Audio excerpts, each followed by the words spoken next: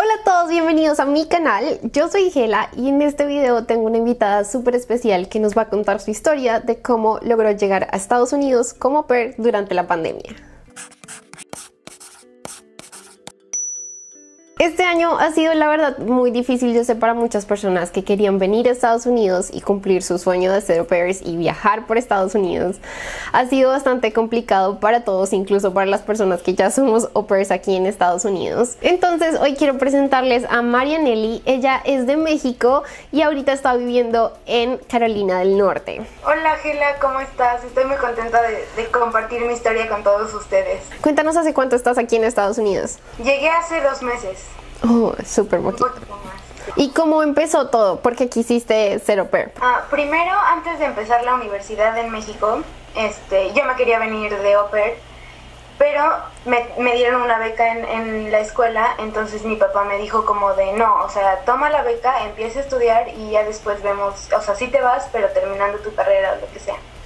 Entonces, eh, no, no me vine de au empecé la universidad y todo, y entonces ya... Eh, este año pasado me vine a un campamento a Estados Unidos de, como staff, como kitchen staff.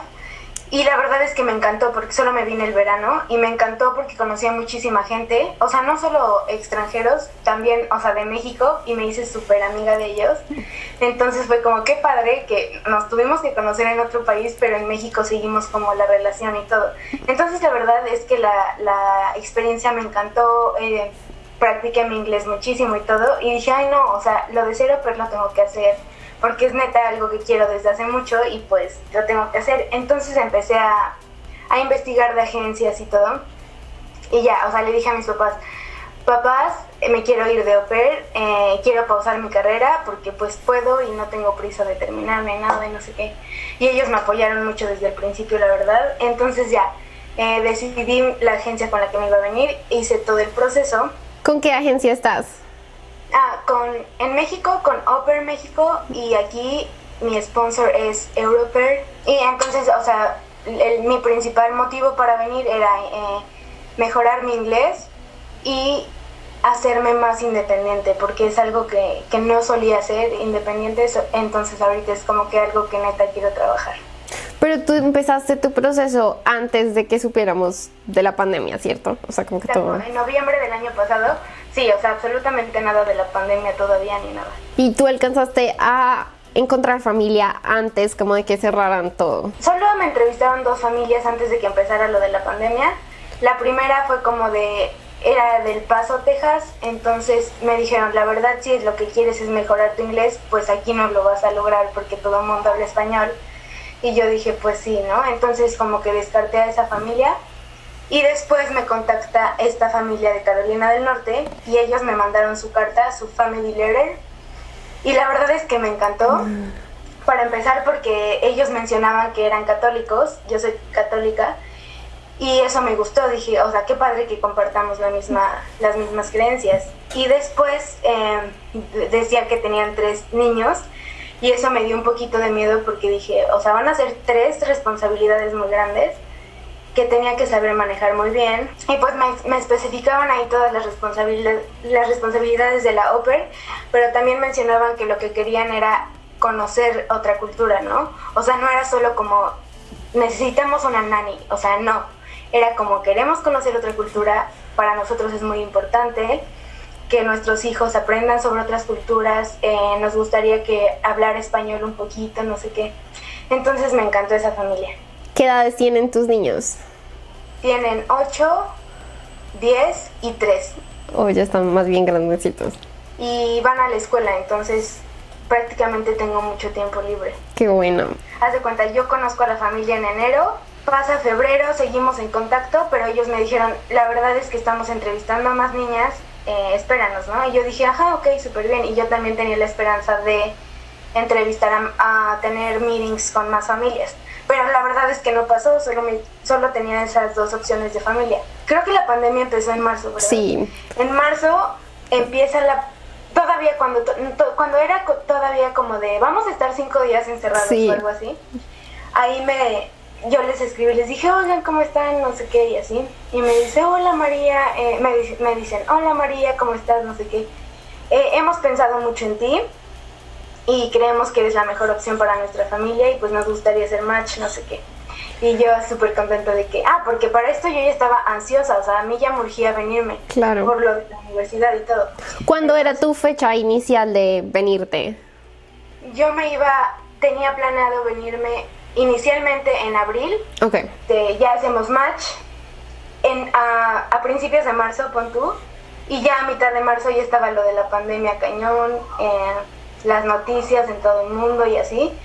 Entonces yo les, ellos me escribieron, los dos son doctores, escribieron de que, oye, pues con la pandemia va a estar difícil, pero nosotros vamos a seguir haciendo todo lo posible para que tu proceso siga, siga avanzando y no tengas ningún problema. Y aparte, en ese momento, como que todo el mundo pensábamos, ay, o sea, dos meses de, encierro y ya, o sea, algo así, súper, ya pasa y pues todo cerrado, consulados cerrados, todo.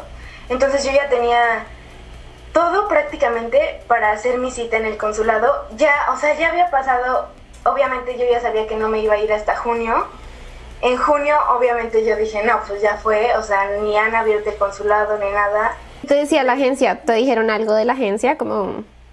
Ah, la agencia, para ser franca, o sea, niñas que me están viendo ahorita, no se vayan con cualquier agencia, investiguen más agencias, por favor, pregunten, consejos de otras operas, por favor no lo hagan. Yo lo hice y fue horrible. La agencia en México, será recomendada, o sea, no te ponen atención, tienes que rogarles prácticamente para que te suban a la plataforma, para que hagan todo, o sea, feo. Entonces, este, pero la, la agencia aquí, ya cuando tuve contacto con ella, bien, o sea, la de aquí bien, pero la de México, mal.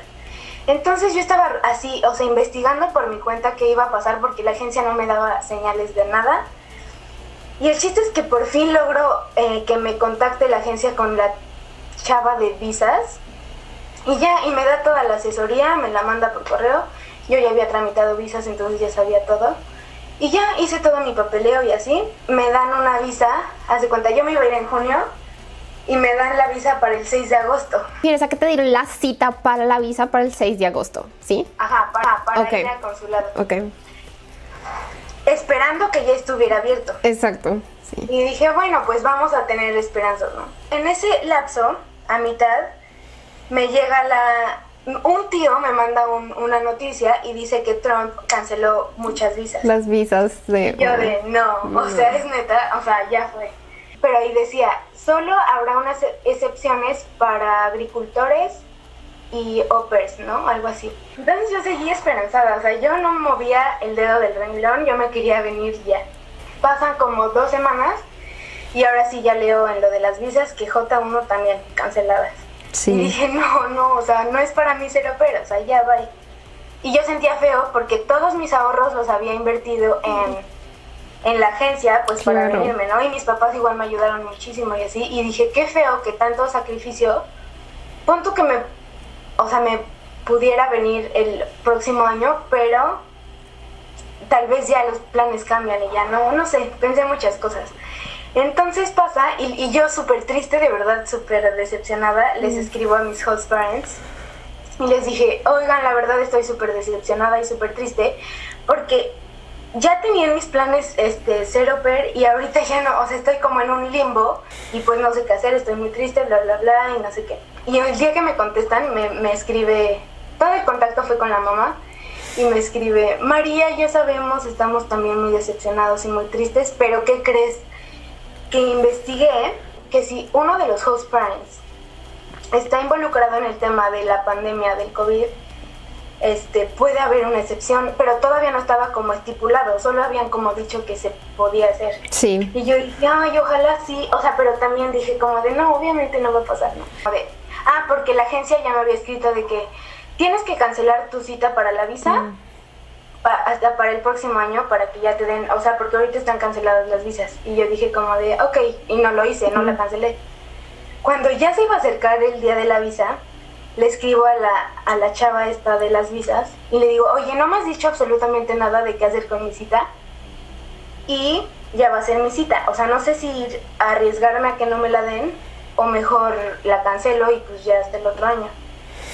Y así, o sea, la tipa súper quitada de la pena me, me manda un, un mensaje y dice, a ver, si entras en estas categorías todavía puedes ir a la visa, ¿no?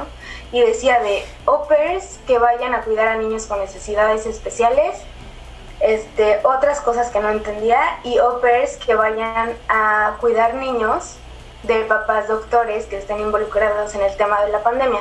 Y dije, obviamente entro en ese, en ese, en ese rango, o sea, y le dije, y me enojé mucho, y sí hablé con la agencia y les dije, oigan, ¿cómo algo tan importante? O sea, que yo estoy en ese rango. No me lo habían hecho saber ustedes, que son con los que... O sea, si tú no le dices nada, como que pierdes la oportunidad, digamos. Exactamente, exactamente. Entonces en ese momento le escribo a mi host mom y le digo, ya en una semana tengo la cita de la visa, ya está abierto el consulado. ¿Me puedes mandar porfa la carta que especifique que ustedes trabajan en, en el hospital y son doctores y no sé qué. Y decía así de que los nombres de los papás son doctores y necesitan de la OPER para cuidar a sus niños porque ahorita no pueden ir a la escuela, bla, bla, bla, bla, bla, Así muy, muy específica la carta. Entonces ya la imprimí y me preparé muchísimo para mi cita en la, en la embajada. Pero niñas, aquí es donde neta, o sea, si algo es para ustedes, es para ustedes. O sea, es muy interesante de esto. Llego a la embajada ese día nerviosísima porque yo no sabía qué me iban a decir, pero cuando tú ya tienes una visa y vas a la embajada, eh, vas a que te tomen las fotos al CAS, Centro de Atención al, Solicitante, pero haz de cuenta, si ya tienes una visa y la quieres renovar, solo te toman las fotos y ya no vas a una entrevista con el cónsul. Entonces solo me habían dado este, cita para el CAS. Entonces llego al CAS, me piden mis papeles, bla, bla, bla entonces, me, me, formo en la fila, me van a hacer las preguntas. Había como cuatro personas antes que yo. Las cuatro personas pasaron con la tipa que estaba en la ventanilla y estaban discutiendo de que cómo que cancelaron las citas, cómo que hasta el otro año, no sé qué, y yo no, ya fue. Ay, pensaste que no te la iban a dar. Bueno. Sí, no, no, no, o sea, yo dije, ya fue, ya, o sea, ¿qué hago aquí? Ya me, literal, ya me, me, voy a salir, ¿no? Pero dije, no, o sea, a ver qué me dice paso con la señorita de la ventanilla y, le, y me dice, ah, J1, ¿verdad? Y le dije, ajá. Y dice, a ver, la, la cita más próxima es el 11 de agosto. Y yo, y ese día era 6 de agosto. Y yo, ¿de este año? sí, sí, de este año, el 11 de agosto. Y yo, ok. Ok, sí, o sea, dámela, ¿no? Yo no sé, pero me dieron, fui la única de ahí de los que estaban discutiendo que me dieron cita para esa semana. Y, me saqué mucho de onda, dije, a ver, ¿cómo es posible? Pero bueno, dije, qué padre, gracias Dios. Fui a la cita de la embajada y yo era la única en la embajada, la única persona en la Oh my gosh. Ya, entré con el cónsul y me dice, J1, ¿verdad? Y yo, sí. Este, ah, oh, vas a hacer oper en inglés todo. Y yo, sí. Ella me dice, necesito, hace cuenta, el, el cónsul me empezó a decir, necesito una carta, y ya me empezó a dar el choro, y yo enseguida le metí la carta, la dejé hablar y le di la carta, y ya me dijo, oh, los dos son eh, physicians, y yo, sí. Y dice, ok, y se tardó años escribiendo, no sé qué, y yo, ay, por favor. Esa espera es horrible. Terrible. Y aparte las visas canceladas, imagínate tu visa ha sido aprobada, no sé qué, no sé qué, bla, bla, bla, y ya me dice todo, ¿no? Y yo, no, sabes, o sea, no, no, no, yo casi salí llorando de la embajada. Entonces ahí es cuando, cuando me cayó el 20 de que dije, wow. Ahora sí me voy. Sí, o sea, me voy y, y, es algo increíble porque cancelaron las visas. ¿Cómo te explicas, no? ¿Cuánto tiempo pasó desde que te dieron la visa hasta que viajaste? El 11 de agosto me la aprobaron, me llegó como el 20 Oh, claro, tenías que esperar. Yo viajé el 31. Oh, gosh. Wow. O sea, todo fue muy rápido. Igual fue eh, la agencia quien se encargó de hacerte todo lo del vuelo y eso, ¿cierto? Sí, pero yo tuve que hablar todo con mis host parents. Oh. O sea, yo hablaba todo con mis host parents directo, porque la agencia nomás no. O sea, de verdad yo me enojé muchísimo, les reclamé. Pero dije, bueno, igual si no hubiera sido con esa agencia, yo no hubiera encontrado esta familia. Entonces también eso lo, lo considero, pero sí, niñas, o sea, investiguen súper bien su agencia. Muy Todo, por favor, no hagan estas. Y aparte, en Facebook hace, una hace como 15 días me escribe una niña y me dice, oye, este, supe que te fuiste con Oper México, no sé qué. Y yo, sí, sí, ¿qué onda? Y me dice, ¿qué crees que a mí me estafaron? Y, y, me quitaron todo mi dinero y no me reembolsaron nada y no sé qué.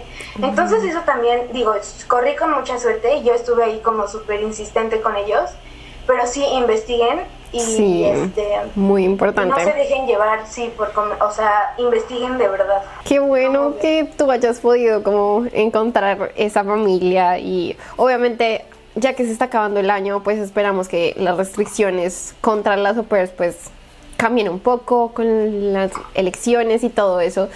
Y pues que ojalá más niñas puedan venir y no tenga que ser solo como con familias de doctores. Muchas gracias Marianelli por contarnos tu historia y esperamos que en serio eh, esta historia les sirva a ustedes para seguir motivándolas, perseguir sus sueños y esto es lo que quieren. Te abre totalmente el, panorama que tienes del mundo, porque yo creo que si, si nunca has salido de tu país o si solo has salido de tu país de vacaciones, tienes un panorama, o sea, tienes una parte así de lo que es el mundo.